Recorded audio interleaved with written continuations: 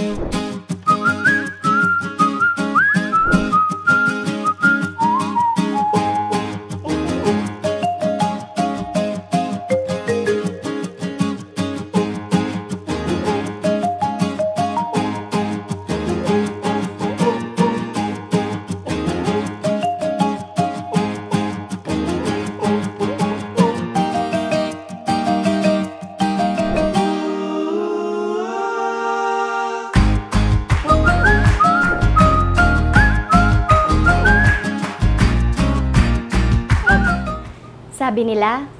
makwento talaga ang mga bata. Pero, nababantayan nyo nga ba ang oral language development ng inyong mga mag-aaral? Bakit nga ba ito mahalaga? Ang oral language development ay mahalaga dahil ito ay isa sa mga unang hakbang patungo sa literacy o ang pagkatuto ng pagbasa at pagsulat. Mauunawaan lang kasi ng mga bata ang kanyang binabasa kung naiintindihan niya ang wika. Maraming paraang pwedeng gawin sa loob ng classroom upang ito ay mapagpabuti. Tip number 1. Siguraduhing may mga kwentuhan o mga gawaing lilinang ng wikang pabigkas ng mga bata. Pwede kayong mag-roleplay, magpagawa ng interview, mag-show and tell, o magkwentuhan tungkol sa isang wordless picture book. Pwede nyo ring ipakwento sa mga bata ang kababasa nyo lang na libro sa kanila. Ito ang paborito kong laruan. Mga bata, naaalala nyo ba yung kwento natin kahapon? Teacher, ako na magkakwento. Tip number 2. Gawing masaya ang mga gawain sa pagpapaunlad ng wika. Huwag nating kalimutan na kailangan din mag-enjoy ng mga bata. Kaya, bigyan natin sila ng mga pagkakataong makapaglaro. Ang ilang masayang gawain ay ang pretend play, hulaan, o pasa-pasang kwento. Tandaan din natin na kapag tayo ay nagbibigay ng oportunidad sa mga batang makapagsalita, huwag nating kalimutang i-record ang ebidensya. Kahit sa mga simpleng checklist at rating scale lamang. Kailangan lang natin ng tama at masusing obserbasyon. Ang ilang punto na maaari niyong bigyan ng pansin ay Paano siya bumubuo ng pangungusap? Alam ba niya ang kahulugan ng mga salitang ginagamit niya? Paano siya magtanong? Paano siya sumunod sa pasalitang panuto? Mahalaga kasi ang mga ebidensyang ito at hindi dapat ito mananatili lamang sa inyong record book. Magagamit natin ang mga ebidensyang ito sa pagpaplano ng ating gawain sa klase tungkol sa pagpapahusay ng wika para matugunan din ang pangangailangan ng mga mag-aaral. Lahat ng nabanggit ko ay pwedeng gawin sa mother tongue, Filipino, o English. Kaya tandaan natin, magkwentuhan, mag-observe, at syempre, mag-enjoy kasama ang mga bata. Ito ang galawang edukampyon ko. Ano ang sayo?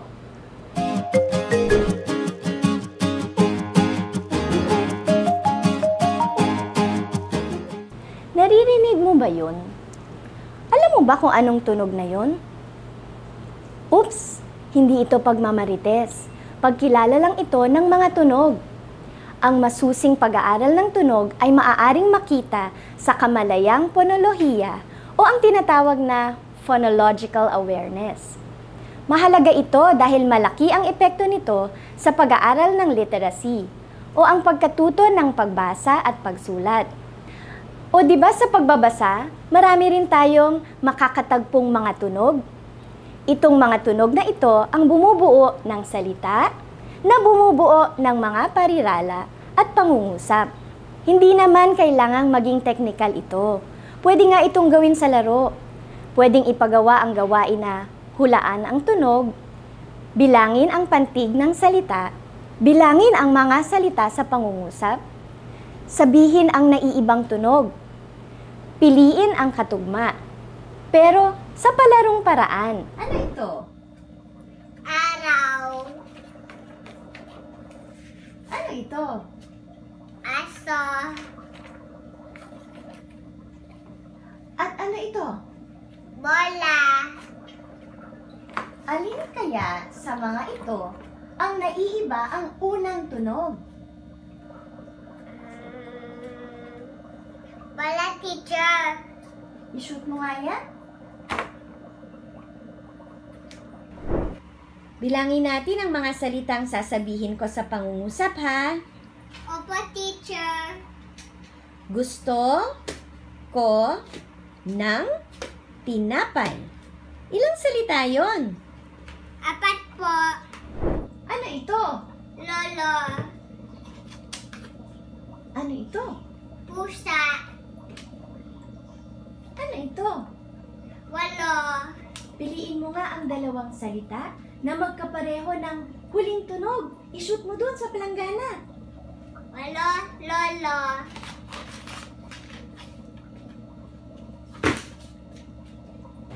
Sa araw-araw na pakikinig at pag-observe sa mga bata, makikita natin kung aling aspeto ng phonological awareness sila magaling o hirap.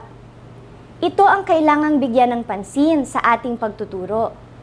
Dito natin makikita kung alin ang mga gawain na kailangan pang paigtingin upang lalo silang maging handa sa pagbabasa. Tandaan, mahalaga ang pagkilala ng tunog. Isa itong hakbang para matagumpay na matutong magbasa ang mga mag-aaral. Ito ang galawang edukampyon ko. Ano ang sayo?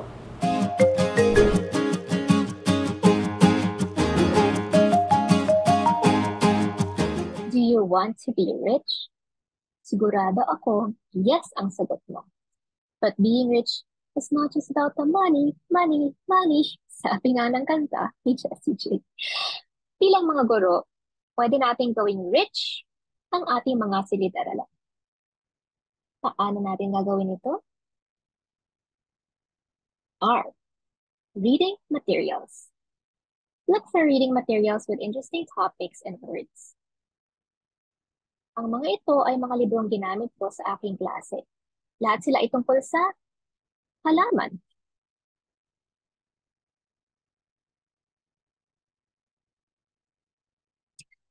Tandaang dapat angkop sa edad ng mga estudyante ang mga ito. Dapat rin kayang basahin ng mga estudyante ito. Tignan din ang mga salita. Hindi dapat masyadong madali o masyadong mahirap intindihin ang mga ito. I. Integration. Integrate different word study concepts in spelling and vocabulary word lists. Halimbawa, compound words. O kaya, mga salitang may unlapi. Siguraduhin ding isama ang pagbasa ng mga salitang ito. Bigyang diin ang tamang pagbasa ng mga ito. Bilang guro, mag-model ka at magbigay ng practice sa mga estudyante kung kailangan. Importante na nababasa at naiintindihan nila ang mga salita. Pwede rin makipag-integrate with different subject areas. Gumamit ng mga science words o kaya mga salitang galing sa araling panlipunan. Pwede rin mga salitang galing sa math, sa home economics, music, PE, at iba pa. Letter C naman, context clues.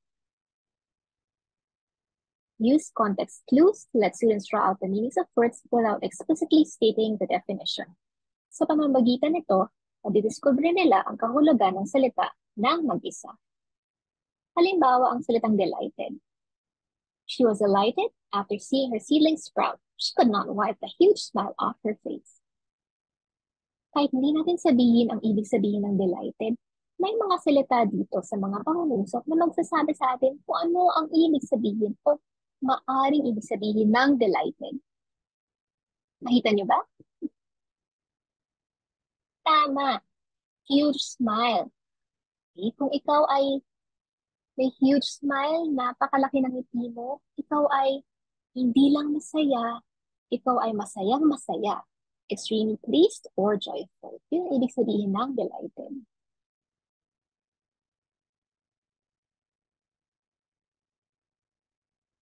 At ang ating huling letra, H. habit. Make word study a habit. Incorporate a routine. Maaring gawing unang aralin, aralin ang word study tuwing lunes para may expectation na ang mga estudyante. Magbigay ng pre-spelling test na hindi graded. Bigyang diin ang pagbigas at pagbasa ng mga salita at iugnay ito sa spelling. Ito ay halimbawa kung paano namin ginagawa ang pre-spelling test. Sasabihin ng guro ang mga salita dito, isusulat ng mga estudyante ang mga salita. Pagkatapos, kapag pinahita na ang mga salita, kung mali ang spelling nila, lalagay nila dito ang tamang, ang tamang salita, ang tamang spelling. Magbigay ng iba't ibang drill at pagsasanay upang mahasa ang kaalaman nila sa mga salita. Pwedeng digital, pwede rin pen and paper magbigay ng post-spelling test upang malaman nila kung gaano sila nag-improve mula sa pre-spelling test.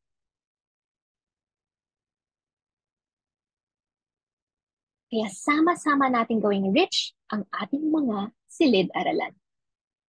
Tulungan natin ang ating mga estudyanteng maging mayaman sa salita. Ito ang Galaw Edukampiyon ko. Ano ang sa iyo?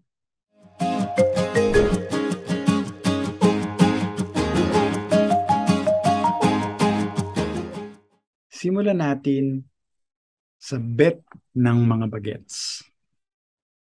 Looking at the importance of reading interest among adolescents. Sabi nga ng matatanda, kung gusto, may paraan. Kung ayaw, may dahilan. Kapag gusto natin na isang bagay, pinititigaan natin ito.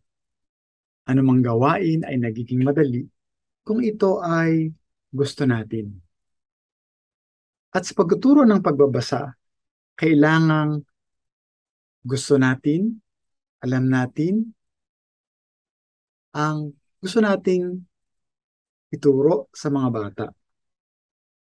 Mahalagang alam natin ang gusto ng mga mag-aaral upang maturo natin silang mabuti.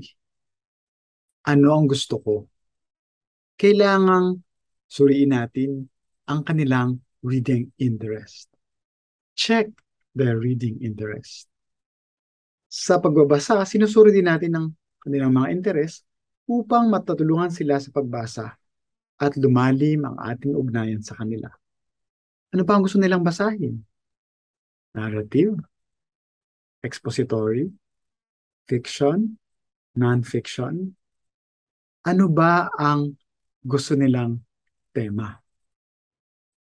We also build relationships knowing their reading interest.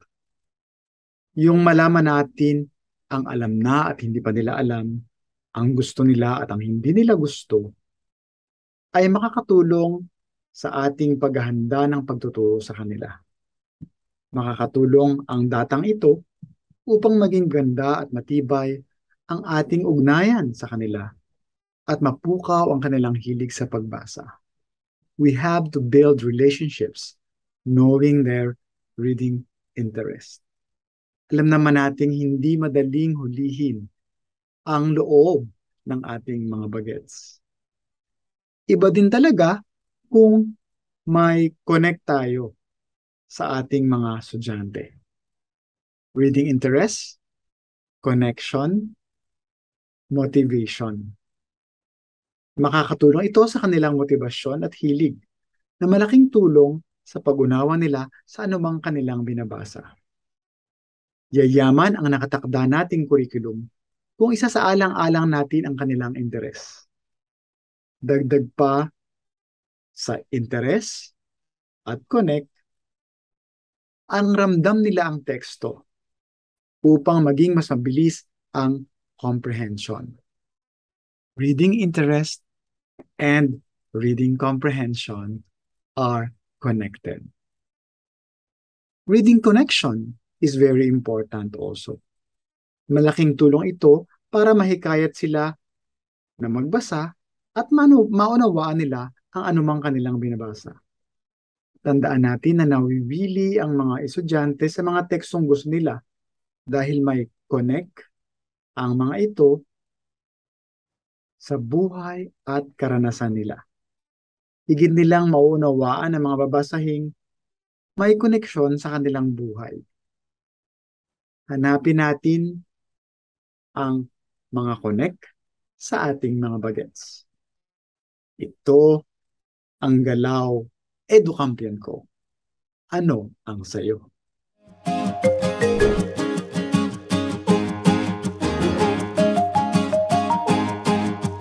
Paano rin tutulungan ang mga bagets na magbasa? Madalas kasi, akala natin hiwalay ang reading sa ibang bagay. Sometimes we teach reading in isolation.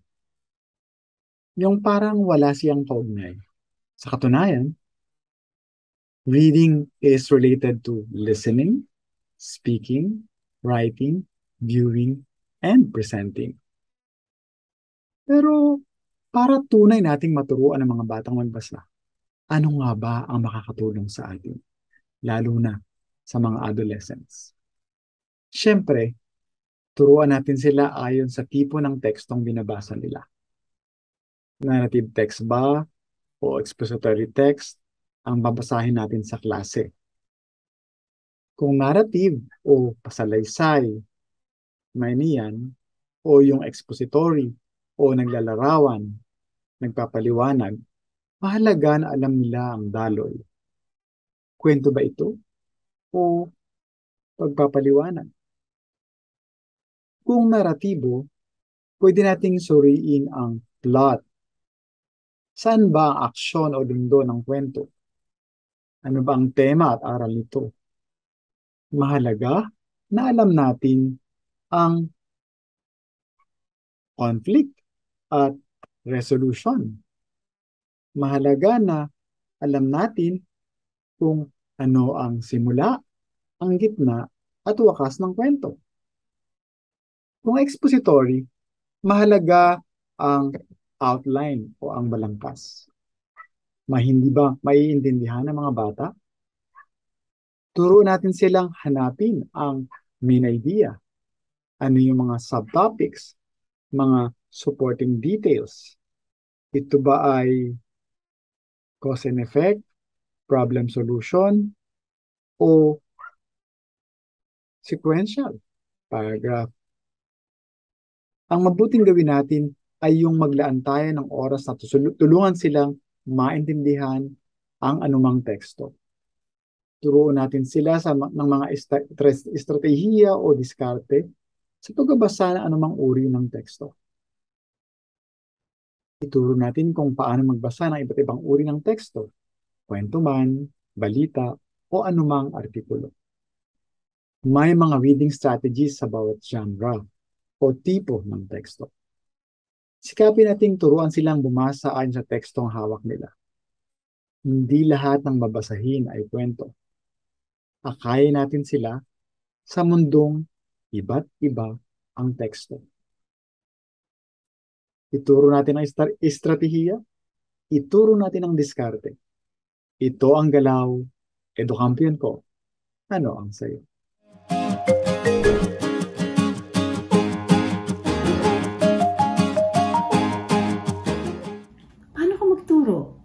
Effective ba? May ebidensya ka. Or, hindi nga. Sa pagtuturo, maganda kung ang ginagawa natin ay may ebidensya. Hindi lang chika o chismis. Huwag maging marites ha. Mag mariteach. Mag evidence-based practice. Paano ito gagawin sa reading? Well, kailangan muna nating itanong ang mga ito. Ano ba ang problema sa reading ng ating mga estudyante? Kumusta ang skills nila pagdating sa oral language? Sa phonological awareness, sa phonics, vocabulary, fluency, reading comprehension. Ano mang kailangan nila? Anong tulong ang may bibigay natin? Paano natin maituturo ng maayos ang mga ito? Oops, wait lang. Baka naman reading motivation ang need nila. Pag ganyan, maggalawang pa-fall tayo hanggang sa sila ay ma-in love sa reading. Ano man ang mga reading needs na kailangan ng mga bata, anong grade level at anong wika man. Kailangan talaga nating mangalap, magsuri at magtasa ng ebidensya. Kaya, ito ang sasabihin ko. Kailangan natin ng resibo. Oo, resibo. Yung mga na-share sa mga naunang videos tungkol sa reading, lahat yun may resibo.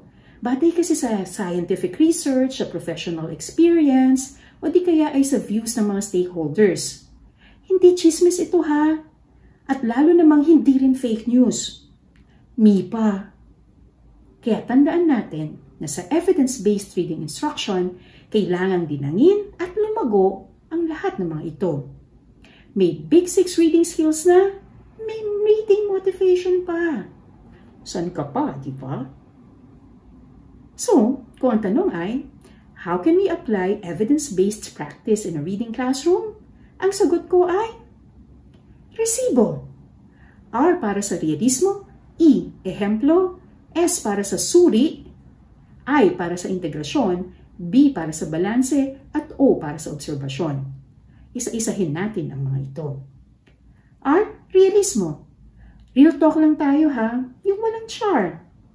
May sarili kayong konteksto, di ba?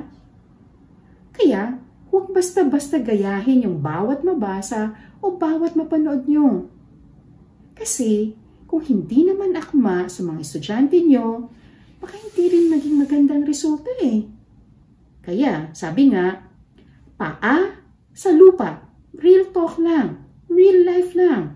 At, syempre pa, isip-isip muna. I, ehemplo. Magpakita tayo ng ehemplo o halimbawa. Kailangan nating imodelo sa ating mga estudyante ang mga reading skills and strategies.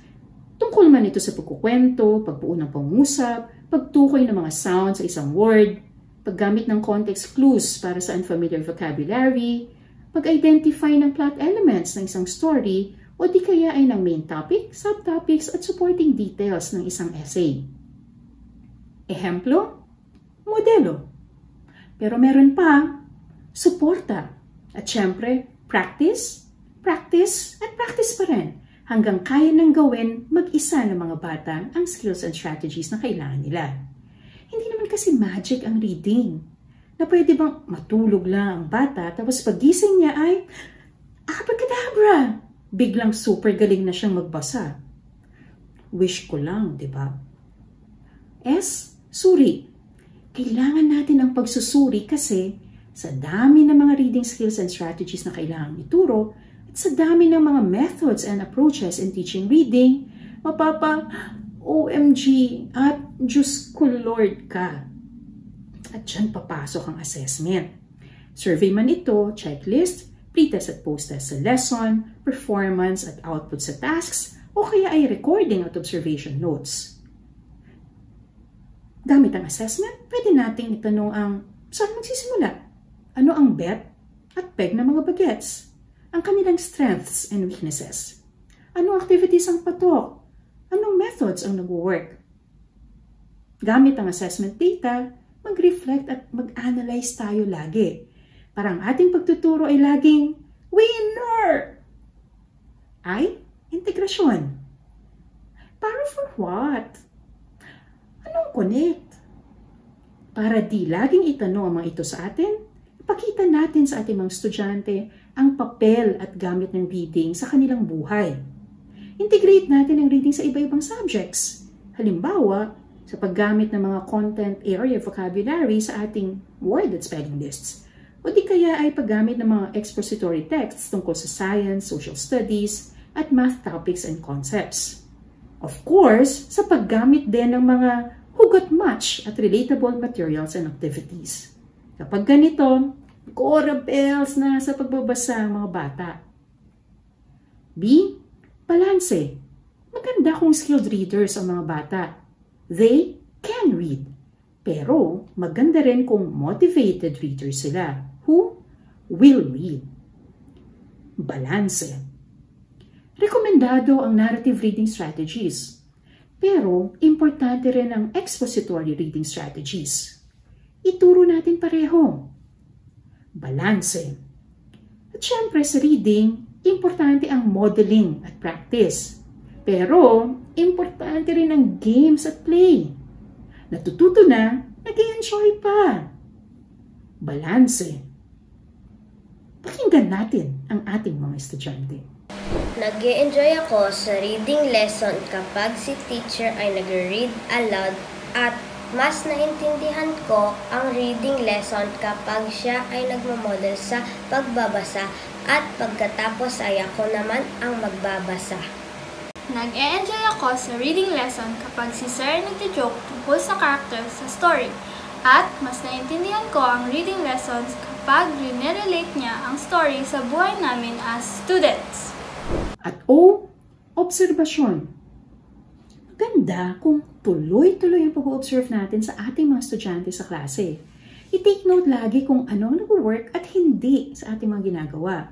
At kung anong adjustments ang dapat pa natin gawin. Kasi meron mga gets at hindi gets ang ating mga bagets. Mag-reflect tayo tungkol sa mga ito at paggandahin at paghusayin pa natin lalo ang ating pagtuturo para mas matuto at mas mag-enjoy pa ang mga bata. At pag ganun, masaya ka, di ba? Siyempre, gusto ko, happy ka. Kaya, tandaan natin sa pagtuturo ng reading, ipakita ang resibo. R. Realismo, I. Ehemplo, S. Suri, I. Integrasyon, B. Balanse, at O. Obserbasyon. Resibo. And that's how we can do evidence-based reading instruction. Ito ang galawang educompute ko. Ano ang sayo?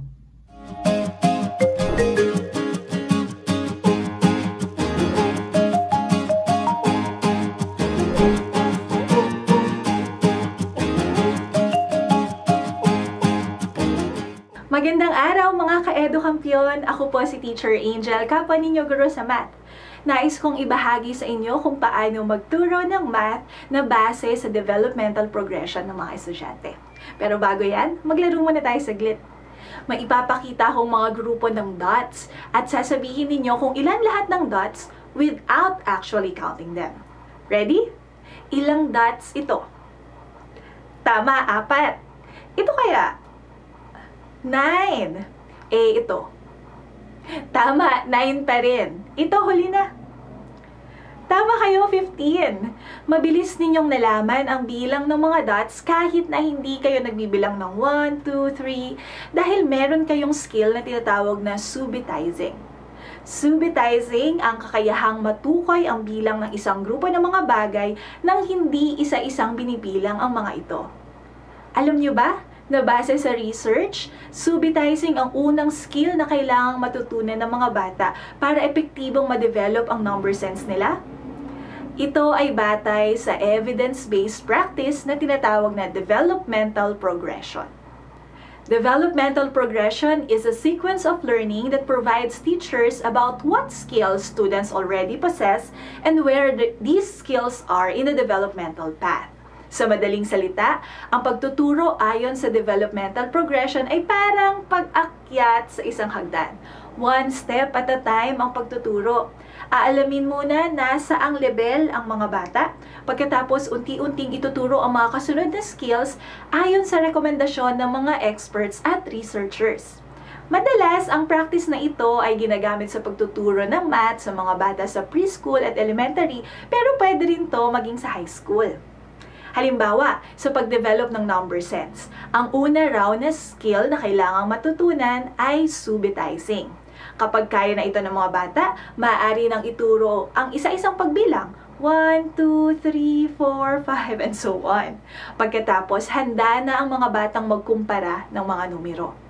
At mula rito, sunod-sunod nang madedevelop ang iba pang skills sa number sense ayon sa curriculum.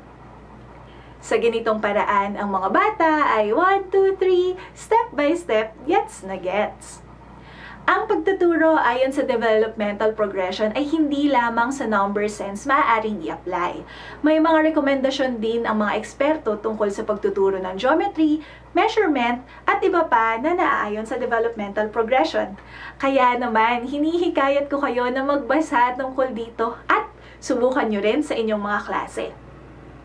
Muli, ako po si Teacher Angel, nagsasabing huwag tayong matakot manaliksik at sumubok ng mga bagong paraan. Isaalang-alang natin ang developmental progression ng mga bata upang tayo ay maging mas epektibong guro. Ito ang galawang Edo Kampiyon ko. Ano ang sayo?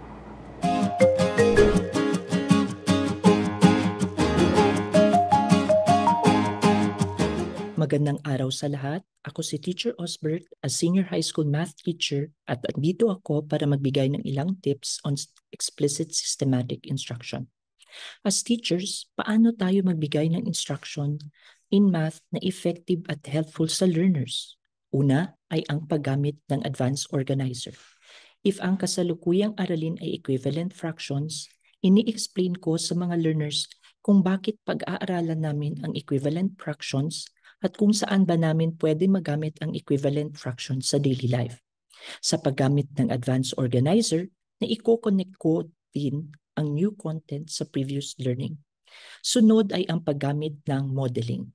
Dito sa modeling, as the teacher, I think aloud as I model the process of working through a problem. Napakahalagang engage ang learners.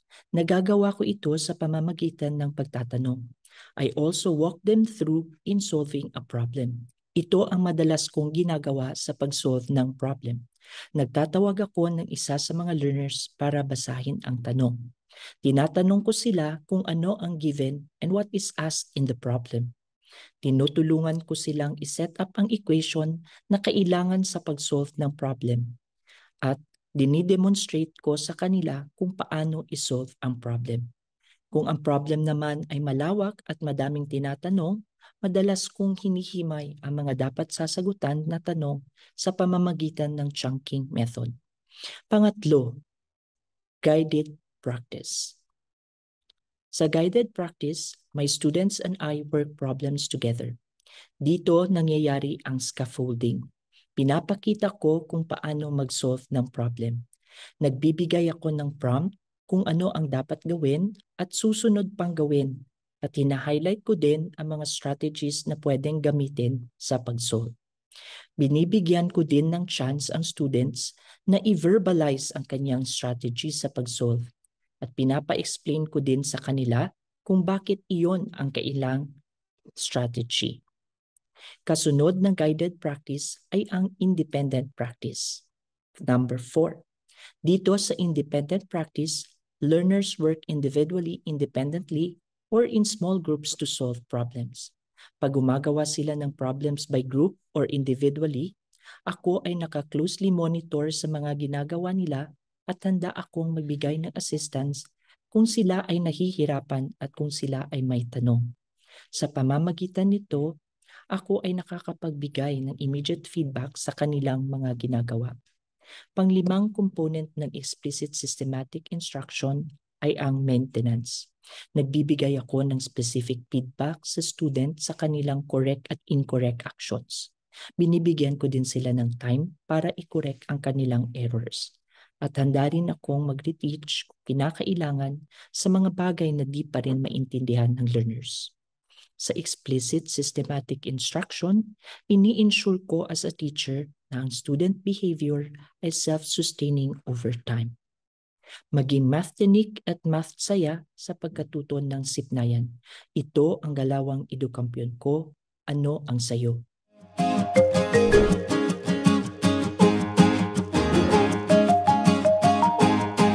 Magandang araw kay Edukampiyon!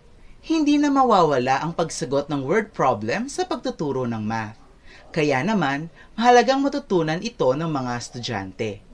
Narito ang isang evidence-based practice na maaaring gamitin upang mas madaling maintindihan ang mga word problems.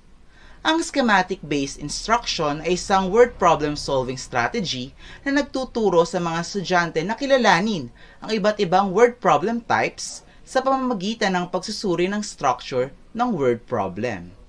May dalawang categories ito na madalas gamitin, ang additive schemas at multiplicative schemas. Para sa video na ito ay magfo-focus tayo sa additive schemas. Madalas gamitin ang additive schemas para sa addition and subtraction problems. Ilan sa examples ito ay combine na tinatawag ding total o part-part whole, kung saan pinagsasama ang dalawa o higit pang parts para makakuha ng total. Maaring ang hinahanap na sagot ay total o kaya ang part. Compare na tinatawag ding difference kung saan kinukumpara ang dalawang sets para sa difference nito. Maaring ang hinahanap ay greater set, lesser set o ang difference. Panghuli ang change na tinatawag ding join o separate kung saan tinitingnan ang dagdag o bawas sa isang quantity. Upang madaling ituro ang schema, ay maaaring gumamit ng attack strategies. Ito ay series of steps na guide sa pagsagot ng word problems. Isa sa halimbawa nito ay ang run attack strategy. R. Read the problem. U. Underline what is asked. At N. Name the problem type. Halimbawa, una, read the problem. Lyle has 29 red and green apples. If 11 of the apples are red, how many green apples does Lyle have? Ikalawa, underline what is asked. Makikita nating ang tinatanong ay tungkol sa green apples. Kaya naman, ating i-underline ang green apples. Panghuli, name the problem type. Mayroon bang parts na dapat pagsamahin para sa total? Mayroon bang pinagkukumparang mga sets? o may dagdag o bawas sa given quantity. Base sa ating word problem, ay may part na green apple, part na red apple, at total apples. Kaya naman, ito ay combined problem type. Mula rito, ay madali na nating masosolve ang word problem.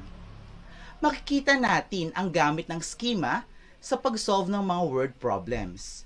Ito ay napatunayan ng nakatulong sa mga estudyanteng hirap sa math at may learning disability. Ito ang galawang edukampiyon ko. Anong sayo?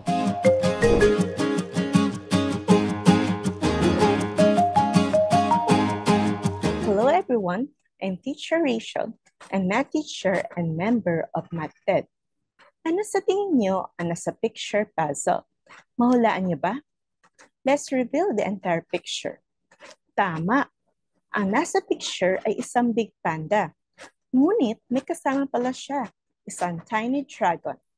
Marahil ay marami ang hindi nakahula sa tiny dragon dahil nakatago ito at mahirap ma-recognize kaagad ang mga distinctive features nito.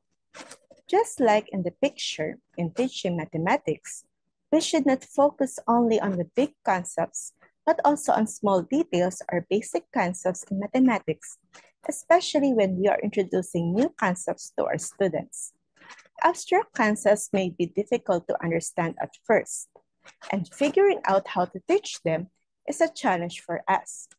As a teacher, how do you make abstract mathematical concepts easily understandable for your students? One way is through the use of visual representations. We can help the students understand abstract mathematical concepts and solve problems by promoting the use of visual representations or VRs. The use of VRs is an evidence-based practice that has been thoroughly researched and proven to be effective. According to research by Bunen et al. 2014, students who use accurate visual representations are six times more likely to answer math problems correctly than those who do not. Students who use inaccurate visual representations are less likely to do well in math problems than students who use no visual representations at all. Here are some of the types of visual representations most commonly used by math teachers and students.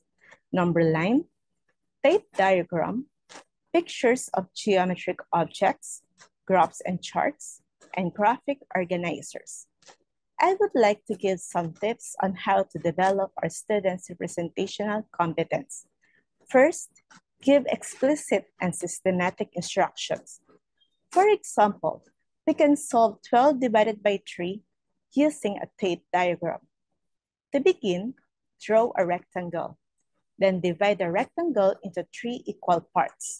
Then one by one, place 12 apples into the groups. We now have three equal groups of four apples. Second, provide multiple visual representations. Halimbawa, ang fractions ay hindi lamang eh, represent gamit ang pizza or cake, Tape diagrams, number lines, or sets of objects can also be used. Third, provide more practice by drawing or using online tools. You may ask students to draw on paper or use offline or online tools to create visual presentations such as interactive whiteboards, GeoGebra, and graphing calculators. Finally, I would like to say, let our light shine by making math clearly understandable for our students to see the beauty of mathematics. Teachers, let's all become educampions. Ito ang dalawang educampion ko. Ano ang sayo?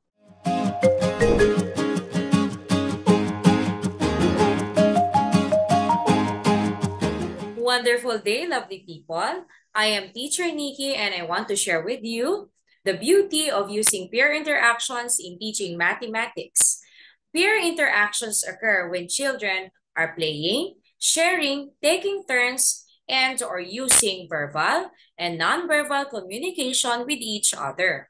Maaaring mag-post si teacher ng isang challenging question sa mga students at sa una, hayaan muna silang sumagot ng mag-isa. Pagkatapos ay papiliin sila ng partner at magbahagi sila ng idea kung paano nila nasagutan ang problem. Itong peer interaction na ito ay tinatawag na pair work. Sa ilang pagkakataon, maaaring ang pag-pair ng mga students ay base sa kanilang abilities. Ang mga advanced peer ay ipapartner sa isang kaklase na maaaring nahihirapan sa lesson. Ang tawag naman sa ganitong peer interaction ay peer tutoring. Kalimitan ay ginagamit ito kapag may bagong lesson na may kahirapan. Studies show that this strategy makes the students more accurate and confident in the class than before. Isa pang evidence-based practice na talaga namang nakakatulong upang mapabilis ang pagkatuto at ma-develop ang social skills ng mga mag-aaral ay ang cooperative learning. Cooperative learning involves students working together to accomplish shared goals. And it is this sense of interdependence that motivate group members to help and support each other. It takes the following form. First, activities are structured within groups and each student is assigned a specific role like leader and rapporteur. Second, teachers supply information and guide questions. Third, teachers observe, listen, and intervene wherever necessary. Fourth, students submit work and may be graded using a rubric. Batay sa pag-aaral ng cooperative learning, ang mga mag-aaral ay nagkaroon ng academic growth at nakabubuo ng strong relationship sa kanilang mga kaklase. Nasisiyahan silang makipag-discuss sa kanilang mga kagrupo. That's it for peer interaction. Muli, ako si Teacher Nikki na nagpapaalala, kayang-kaya basta't sama-sama. Sama-sama kaya't kayang-kaya. Ito ang galawang edukampiyon ko. Ano ang sayo?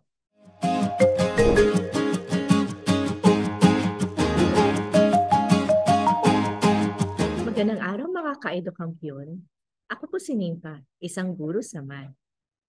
Matanong ko lang po, paano kayo magturo sa math? Siguro ang iba sa atin ay ginagamit ang kanilang natutunan sa mga education courses o kaya sa mga webinars. At yung iba naman ay ginagamit ang style na naging teacher natin nung tayo nag-aaral pa. Napakaraming teaching strategies ang ating pipilian. Ngunit, ang lahat nga ba ng mga ito ay effective? O nakasanayan lang natin sa pagtuturo dahil ganun ito itinuro sa atin? Are there enough evidences to support the claim that they are indeed good teaching strategies? Mahalaga na ang pipiliin natin strategy sa pagtuturo ng math ay naaayon sa evidence-based practices. Those which have been established through research and affirmed by education experts. Yung ginagamitan ng anim na essential steps na nabanggit ni Dean Jerome. These are those that involve sound decision-making based on needs assessment, critically appraise evidences, and are proven to increase favorable outcomes, which in our case is effective teaching mathematics. At pinakita sa ating mga kasamahan ang lima sa napakaraming evidence-based practices na ginagamit sa math. First, Teacher Angel told us that we need to teach along a developmental progression. We have to consider the foundation skills needed when we introduce new lessons. If our students have not mastered the prerequisite skills yet, then we should spend time helping them acquire these skills before we proceed with a new lesson. A developmental progression can provide a roadmap for us to follow. In the second video, Teacher Osborne discussed explicit systematic instruction. This involves teaching a specific concept in a highly structured manner. Maaari nating umpisahan ang lesson sa pamamagitan ng pagbibigay na advanced organizer. This primes the students for the lesson to be introduced. Sumunod, maaari na nating i-model ang lesson sa pamamagitan ng papakita ng step-by-step procedure. Here, the teacher thinks aloud as he demonstrates a concept or procedure. Pagkatapos, ay maaari magkaroon ng guided practice. This is where the teacher and the students do exercises or solve problems together. At maaari din naman itong sundan ng independent practice. This time, students do the exercises by themselves. Panghuli naman ang maintenance. It is here where giving of feedback and reteaching occurs. Sa video naman ni Teacher L, ay pinakita niya ang schema instruction. Schema-based instruction is a word problem-solving strategy that requires students to identify different problem types by analyzing word problem structures. In math, we have additive and multiplicative schemas and many others. Sa isang math problem, kung masasabi agad ng estudyante kung anong problem type ito, ay mapapadali na ang kanyang pag-solve ng problem. So let us help our students recognize the problem schema or the underlying structures of a problem. Doon naman sa video ni Teacher Rachel, pinakita niya ang halaga ng paggamit ng visual representations sa pag-solve ng math problems. It is said that students who use accurate visual representations are six times more likely to answer math problems correctly than those who do not. So, Let's train our students to visualize word problems through number lines, diagrams, pictures, charts, and graphic organizers. At sa panghuling video naman ay pinakita ni Teacher Nikki ang halaga ng peer interaction. Students learn from each other. Minsan, mas magaling pa nga magturo ang kapwa estudyante. Let us allow our students to interact with each other through pair work, peer tutoring, and collaborative learning. Ang mga ito ay ilan lamang sa mga evidence-based practices na napatunayang epektibo sa pagtuturo ng math. Maraming strategies sa pagtuturo, ngunit hindi lahat ay evidence-based. Muli, ako po si Teacher Nipa nagsasabing, let us choose strat teaching strategies wisely. Let us use evidence-based practices in teaching mathematics. Ito ang galawang edukampiyon ko. Anong sayo?